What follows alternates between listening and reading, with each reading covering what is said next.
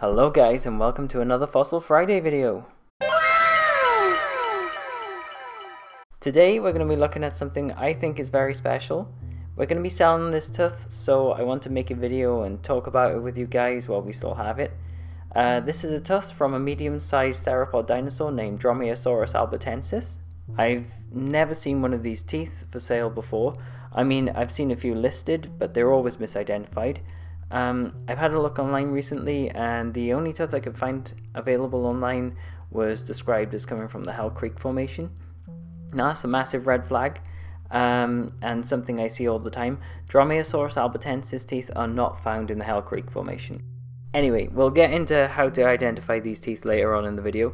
Um, I know there's a lot of collectors out there who'd love one of these, and they're so often misidentified. So we'll go through how to identify them. The video might get a little bit nerdy for some viewers who are just here to see a dinosaur fossil, so if that happens, I'm really sorry, but I'll try and leave the technical stuff about identifying these teeth till the end of the video. But I was very lucky to get this tooth. I found it amongst a couple of hundred Judith River Formation uh, theropod teeth that I purchased a couple of years ago. This tooth was actually collected several decades ago. Um, amongst all those theropod dinosaur teeth, I only found two Dromaeosaurus teeth, one sold a while ago, and this is the last one we have now. Anyway, let's get on with it. What was Dromaeosaurus? So, Dromaeosaurus is a type of theropod dinosaur which lived in North America in the middle to late Campanian stage of the late Cretaceous, somewhere between 69 and 80 million years ago. Despite being a well known dinosaur, it's poorly known from actual fossils, but we know it was a medium sized carnivore around 2 meters in length, with a mouthful of sharp teeth and a curved sickle claw on its foot. The exact relationship between Dromaeosaurus and other theropods is a bit unclear, but it's likely a sister taxon of Dakotaraptor, which was a large dromaeosaurid found in the Hell Creek Formation. It lived alongside tyrannosaurids such as Gorgosaurus and Daspletosaurus. It also shared its environment with other carnivores like Troodontids and another dromaeosaur, Saurornitholestes. And I'll take this opportunity to show you this. This is a nice little Saurornitholestes tooth. It came from the same batch of fossils. Um, in fact, most of the theropod teeth in that batch were either from Saurornitholestes or small tyrannosaurs. As I said, it was a dromaeosaur, just like Dromaeosaurus. It was just a little bit smaller. It looks similar to its Asian counterpart, Velociraptor. So there you go, there's a Saurornitholestes tooth. So, Dromaeosaurus. As well as living alongside these other carnivores like Saurornitholestes, the tyrannosaurs and troodontids, it also shared its habitat and preyed upon a variety of hadrosaurids and ceratopsids, such as Avaceratops and Brachylophosaurus. Now, given it lived alongside several other small and medium sized theropod dinosaurs, you might ask how they could all coexist in the same habitat. Surely they were all targeting the same prey. Well, analysing the teeth of each of these dinosaurs can shed some light on that, and a study in 2018 did just that. It looked at the feeding wear patterns on teeth from Dromaeosaurus and some other carnivores it lived alongside. For a start, the study found that all these carnivorous dinosaurs from Dromaeosaurus to Saurornitholestes to Troodontids and even the Tyrannosaurs, they all favoured the same characteristic puncture and pull feeding method. Now we know this because of the scratches left on the tooth's enamel. This picture gives you a good idea of how theropod teeth entered the flesh. Based on these scratches, we know all these dinosaurs favoured similar feeding techniques. However, a finite element analysis, which analysed the pressure exerted on the teeth during feeding, shed some light on how these similar sized dinosaurs, such as dromaeosaurs and troodontids, managed to coexist. The finite element analysis revealed that dromaeosaurids and troodontids uh, likely targeted different prey. So let's get into this. So, from the analysis, the authors found that troodontid teeth showed the highest amount of stress at non-optimal cutting angles. So that is to say, if a tooth entered the flesh at an angle which wasn't completely optimal, it was vulnerable to breakage. From this, we can deduce that troodontids were not very well adapted to holding onto and killing struggling prey. They were restricted to eating softer foods, only processing thinner bones, and limiting the size of their potential prey. Now, Dromaeosaurus had more rounded teeth, meaning bite forces acted on the tooth, and more importantly, the denticles or serrations Similarly, regardless of bite angles, Dromaeosaurus teeth were less likely to break, even if they entered the prey at a non-optimal angle, which is very important if they preyed upon animals which were likely to struggle.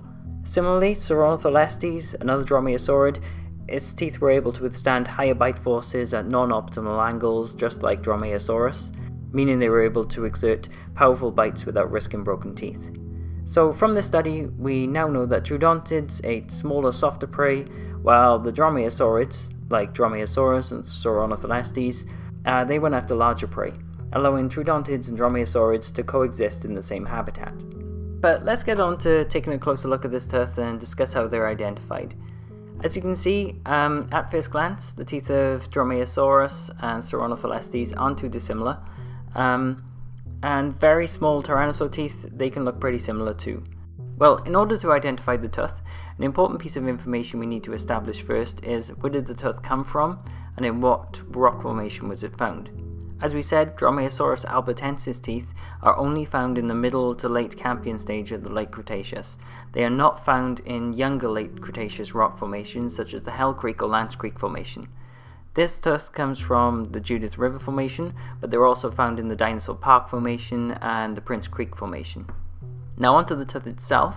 Um, one of the best references for Dromaeosaurus teeth uh, is the book Dinosaur Systematics by Kenneth Carpenter and Philip Currie. Uh, if you want to pick up a copy of this book, I'll leave the name of the book in the description below. The description of Dromaeosaurus teeth begins on page 108.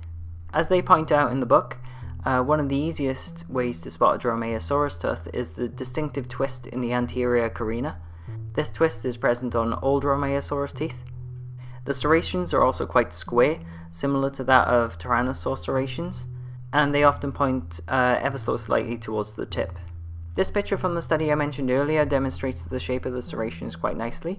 As you can see, Dromaeosaurus serrations look quite similar to that of Gorgosaurus, which was a tyrannosaur. They're both rectangular in shape, but Saurornitholestes serrations are more pointed, although they can wear down and look similar to Dromaeosaurus uh, serrations too.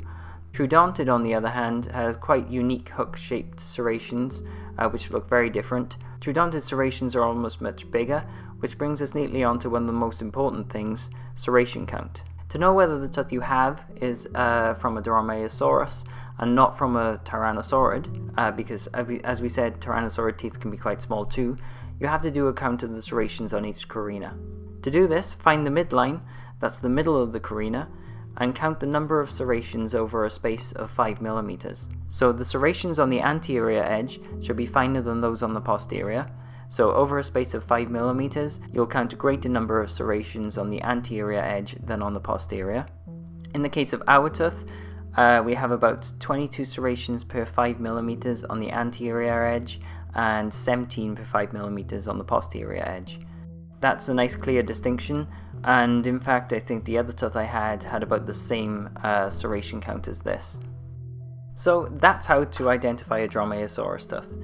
Um, I wanted to share this with you as Dromaeosaurus is a very popular dinosaur and people who collect dinosaur fossils, um, they often want to add one to their collections. But the teeth are pretty rare and misidentified all the time, not on purpose I'm sure, so hopefully whether you're a collector or a student, um, that little explanation was helpful. So I hope you enjoyed the video. We screwed around and had some fun in the last Fossil Friday video, uh, so I wanted to bring the tone down a bit with some technical nerdy fossil collector stuff this week. Uh, but even if there's just one dinosaur nerd out there getting slightly aroused by this video on identifying Dromaeosaurus teeth, it was all worth it. So if you liked the video, please leave a like. If you hated it, leave a dislike. Uh, it'll be helpful for me to know going forward. So thank you for watching, and oh, I've got to sell you stuff too. Um, if you think you might want to buy your own fossil, our website is www.dinofossils.co.uk. Um, we sell everything from pocket money fossils to rarer and more expensive pieces, uh, like this gorgeous tooth. Um, and if you're already a customer, thank you so much. It's because of you that we get to work with dinosaur fossils for a living. So until next time, thanks for watching and bye.